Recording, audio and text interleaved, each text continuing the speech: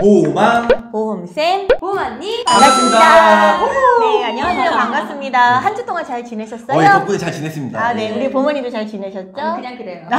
어저께 봤는데. 네, 어제 어렵지 말고. 어, 네 어제 밤까지 열심히 일을 했습니다. 네, 네. 네, 예. 어, 오늘은 우리 고객님들께서 가장 음. 궁금해하시는 부분에 대해서 다시 한번 말씀을 드리려고 해요. 네. 우리가 저희가 저번에 이제 어린이 보험에 대해서 네네. 안내를 해드렸잖아요. 그렇죠. 그런데 제가 상품 위주로 하다 보니까 네네. 음, 우리 고객님들께서 어떻게 해야지 제대로 가입을 하는지 음. 그렇죠. 어, 그 꿀팁에 대해서 어. 한 번만 더 안내를 해달라 이런 요청이 너무 많으셨어요. 매우 중요해요. 그렇죠. 그래서 저희가 이번에는 어떤 식으로 가입을 하셔야 어린이 보험을 제대로 하는지에 음, 대해서 그렇죠. 일단 먼저 네. 가성비 위주로 하는 게 맞나요? 라는 질문이 많으셨어요. 네, 어떻게 맞습니다. 생각하세요? 일단은 보험료 싼 것만 찾는 분들이 많이 계세요. 네. 그렇죠. 물론 네. 보험료 납입 그리고 저렴한데 가정 가- 좋아요. 가성비가 가장 좋잖아요. 그렇죠. 그래서 많이 비교해서 뭐 농협이나 MG, 롯데 이런 쪽으로 많이들 비교해서 가입을 하시는데요. 싼 것도 좋지만 과연 그 소형 회사죠 어떻게 보면 그렇죠. 소형 회사들이 과연 나중에 보험금을 잘 줄까? 음. 그리고 빠르게 줄까? 쉽게 줄까? 그렇죠. 이런 의문점을 많이 드실 거예요. 맞아요. 그래서 제 생각에는 아무래도 빅5죠. 대형 회사. 음. 대형 회사를 아- 아무래도 경쟁을 하려면은 소형 회사들이 상품이나 아니면은 보험료를 낮춰서 네. 이렇게 좀 이렇게 경쟁 있게 그래서 상품을 만들지 않았을까 생각이 들어요. 네. 그래서 소형 회사들로 많이 가입을 하시긴 하는데 아무래도 빅5죠. 삼성, 현대, 멜츠, KB, DB 네. 이런 쪽 가입을 하시는 게 좋지 않을까 생각해요. 아, 네. 그러세요? 하지만 어차피 우리 보험왕님께서는 전문가시니까 그렇죠. 작은 회사로 하셔도 안전하게 보장을 받아주실 거라고 믿습니다. 저 보험한테 언제든지 연락 주세요. 아, 네. 그리고 두 번째는 보통 우리 고객님들이 하나의 회사에 가입이 되어 있는 분들이 많으세요. 네. 뭐 네. 현대생은 현대해상, 삼성화재면 삼성화재. 네. 그런데 요즘에는 혼합 설계를 많이 원하시더라고요. 어, 그 부분에 대해서 어떻게 생각하세요? 일단은 한 네. 회사로 하시게 되면 음. 관리하시기 편하다는 좀 그런 그렇죠. 장점은 있어요. 맞아요. 네. 근데 그건 느낌일 뿐인 거고 네. 사실상 보험금 청구할 때는 다 그게 그겁니다. 그리고 요즘에는 그렇죠. 이제 대부분들이 이제 영업을 하시는 분들을 보면 음. 혼합 설계를 많이들 추천을 그렇죠. 하세요. 맞아요. 어, 네. 왜냐하면 한 회사로 했을 때 뭐든지 다 좋을 수는 없거든요. 그렇죠. 어, 한 회사의 맞아요. 진단비, 수술비, 뭐 입원 일당 이런 것들이 전부 다 좋을 수는 없기 때문에 네. 자 어느 회사로는 A 회사로는 진단비만 해서 음. 그리고 B 회사로는 수술비 나 다른 음. 달달한 특약들을 해서 음. 그렇죠. 이렇게 하시다 보면 아무래도 이제 보험료도 조금 줄이실 수 음. 있고 보장도 더 크게 가져가실 수 음. 있는 뭐 이점이 있지 않을까 생각이 합니다. 맞습니다. 네. 너무 FM이었죠? 아니에요. 아니었습니다. 어, 거의 정답을 저희 부모님께서 말씀을 해주셨는데요. 네, 네. 아, 네. 네. 그럼 누가 뭐 외운지 알겠어요. 외웠어요. 네. 대본? 그리고 세 번째는 제가 말씀을 드릴게요. 네네. 보통 우리가 납입 면제 조건을 얘기를 하는데 그렇죠. 네, 유사함이 납입 면제가 안 되는 네. 유일한 회사가 있습니다. 맞아요. 네, 그게 바로 맞아요. 안타깝게도 롯데거든요. 맞아요. 아, 보험료는 그래요? 저렴한데 유사함이 납입 면제가 안 되세요. 어. 그래서 그 부분도 좀 생각을 해보셔야 되고 또 가장 필요한 왜 일상생활 배상 책임 같은 그쵸. 담보도 많이 현- 찾죠. 많이 찾으세요. 그런데 농협이나 롯데는 그 담보가 지금 삭제가 된 상태입니다. 어, 어, 그러다 그래요? 보니까 네. 농협이나 롯데에 그냥 한 회사 로 하실 경우에는 조금 아쉬운 부분이 있으실 수 맞아요. 맞아요. 맞습니다. 네. 그래서 어. 그 상품을 선택하실 때는 아, 내가 보장을 못 받는 부분이 있다라는 네네. 걸 알고 가셔야 되실 것 같아요. 네. 그리고 이제 마지막으로 네네. 저희가 이제 한꺼번에 이제 저희가 다 같이 얘기를 한번 해보려고 네. 하는데요. 담보들이 네네. 너무 많아요. 맞아요. 어, 맞아요. 예. 예, 예. 어린이 진짜 예전에 봤는데 담보가 어린이집 맞아요. 100몇 개가 되는 거야. 맞아요, 깜짝 놀랐어요. 맞아요. 눈이 돌아가요. 맞아요, 진짜. 진짜. 맞아요. 어. 그래서 이 담보가 너무 많기 때문에 네. 우리 고객님들께서 아무래도 어떤 담보를 넣어야 될지 그렇죠. 나는 네, 진짜. 모르겠어요. 맞아. 어떻게 해야 돼요? 막. 이런 분들이 많으시거든요. 그 제일 부분 많은 것 같아요. 그렇죠. 네, 그 그렇죠. 부분이 예. 제일 많아요. 그래서 맞습니다. 예. 그 부분을 저희 보호망님께서 네네. 딱 네네. 한 가지만 어떤 네. 건꼭 넣어라. 있으세요? 일단은 가장 중요한 건 병원비 보장이거든요. 그렇죠. 실비가 가장 기본 베이스로 깔으셔야 될 것 같고요. 네. 그 다음에 암이랑 네. 이제 내혈관, 그렇죠. 허혈성 이 3대 진단금 위주로 가입을 하시는 게 좋으실 것 같아요. 아, 네. 네네. 그러면 우리 부모님께서 네. 그 다음으로 어떤 걸 넣어라?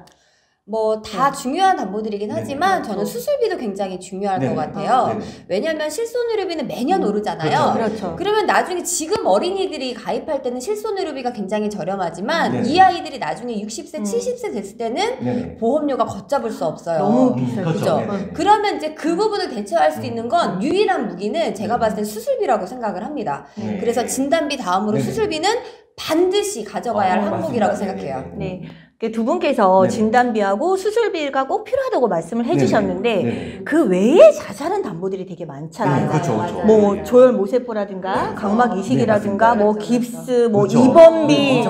뭐 네. 표적 항암부터 해서 네. 여러 가지가 맞아, 너무 맞아. 많은데 네네. 그럼 보호머님께서는 그. 부분을 꼭 넣어야 된다고 생각하세요?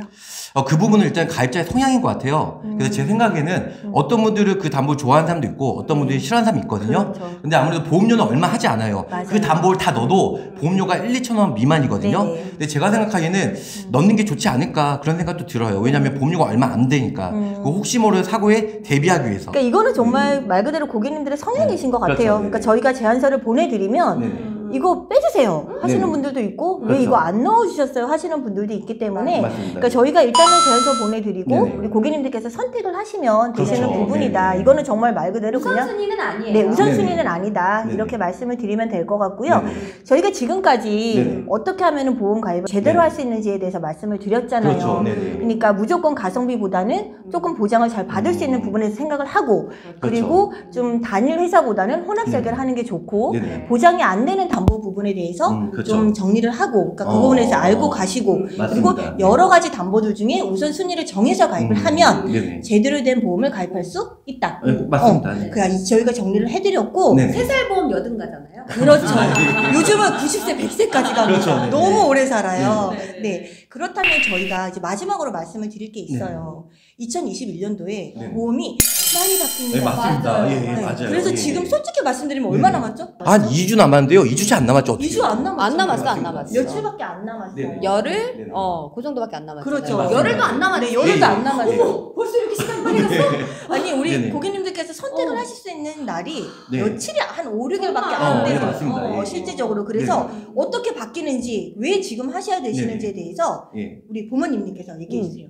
일단은 2021년도에 네. 어, 많은 부분들이 변화가 있는데 일단 어린이 보험에서 유사암 납입 면제 제도가 없어진다고 합니다. 네. 너무 큽니다. 어. 이게 진짜 커요. 왜냐하면 맞아요. 암 중에서도 1위는 갑상선암이기 때문에 네. 이 부분이 차지하는 빈도수가 생각보다 굉장히 큽니다. 네. 그래서 일단 유사암 진단 유사암 진단 시 납입 면제 제도가 없어지고 거기에다가 이제 올해 저희가 한창 재미 봤던 종수술비 음. 종수술비가 없어진다고 해요. 음, 어, 맞아요. 그러면 이제 손해보험에서 이제 보장을 다 같이 받을 수 있었던 종수술비를 생명보험을 가입, 따로 가입을 하셔야만 같이 받으실 수 있을 것 같아요. 네. 음, 음. 맞습니다. 또 어떤 부분이 바뀔까요? 일단은 내년에 예정이율이 인하가 되거든요. 네. 그래서 예정이율이 인하가 되면 보험료가 인상이 될 예정이에요. 아. 그래서 올해보다는 아무래도 내년 이제 2주밖에 안 남는데 2주 지나면 보험료가 좀 소폭 인상이 되지 않을까 생각합니다. 네. 네네. 또 그리고 가장 중요한 무해지 보험이 없어지잖아요. 맞습니다. 예. 네, 그러면 보험료가 10에서 15% 네네, 오를 수 네네. 있고 거기에다가 사실은 10월 달부터 네네. KB나 DB 같은 경우 보험료 인하를 많이 했어요. 네, 맞습니다. 거의 한 네. 18% 정도 인하를 그렇죠. 했거든요. 네네. 그러다 보니까 이제 농협이나 롯데 네네. 같은 회사들이 약간 경쟁력을 잃었잖아요. 그렇죠. 네네. 그런데 그것도 12월 말일까지라고 합니다. 네네. 이제 1월 1일부터는 다시 올린다고 해요. 네네. 우리 고객님들이 어. 느끼는 보험료 인상폭이 거의 3, 40%가 넘으실 수 음, 있다는 그렇습니다. 거. 예. 이왕이면 좀 빨리 서두르는 그렇죠. 게 네. 그래서 네. 저희들이 이제 왜냐면 고객님들한테 막 재촉을 하지는 않지만 맞아, 맞아. 어차피 가입을 하셔야 된다면 네. 올해 안에 하시는 게 어. 가장 유리하시다. 네, 그렇죠. 이건 정말 고객님들을 위해서 저희가 시간이 며칠 안 남았습니다. 네, 맞아요. 정말. 며칠 안 맞아요. 남았어요. 네. 그래서 저희가 고객님들한테 드리는 그냥 정말 간절한 네, 음. 그런 말씀이라고 생각하시면 될것 네, 같아요. 네, 충원입니다. 네, 왕님 왕이시잖아요. 네, 하지만 저희는 고객님들이 왕이라고 생각합니다. 네, 그렇죠. 그렇죠. 네. 그래서 저희가 충원이라고 생각하시고 네. 예, 들으시면 될 것 같고요. 자, 저희가 오늘 이렇게 많은 얘기를 음. 나눠봤는데요. 오늘도 네. 어. 저희의 어. 얘기들이 네. 우리 고객님들께 어. 도움이 되셨다면 네. 구독, 좋아요. 알림 설정 부탁드려요.